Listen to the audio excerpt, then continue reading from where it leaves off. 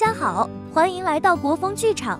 乘风二零二三的赛程播出即将过半，十位被淘汰的姐姐成为很多浪姐四粉丝心中的意难平。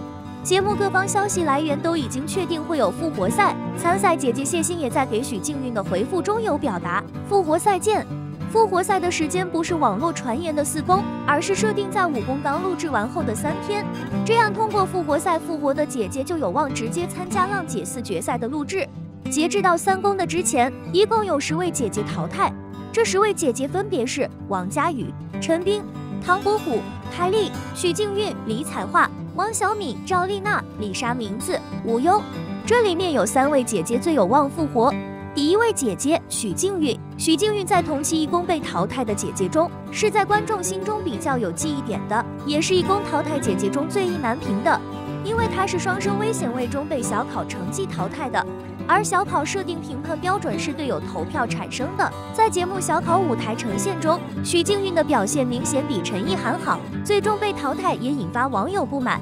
所以许静韵姐姐如果在闲暇时间多在舞蹈方面练习，相信在复活赛中会有非常亮眼的表现。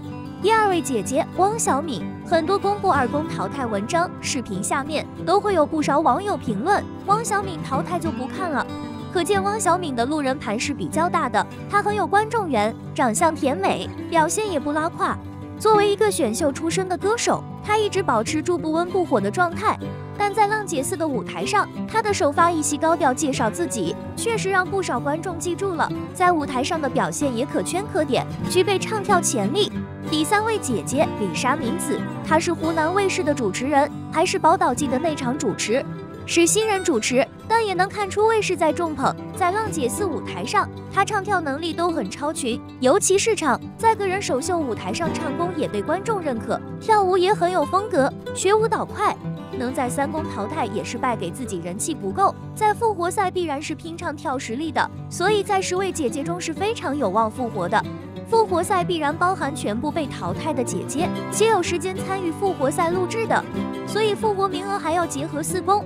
五公淘汰的姐姐数量而定，可以得知的是，前三公必然会有亮眼姐姐复活，四公、五公也大概率会淘汰几位意难平姐姐，增添节目话题量。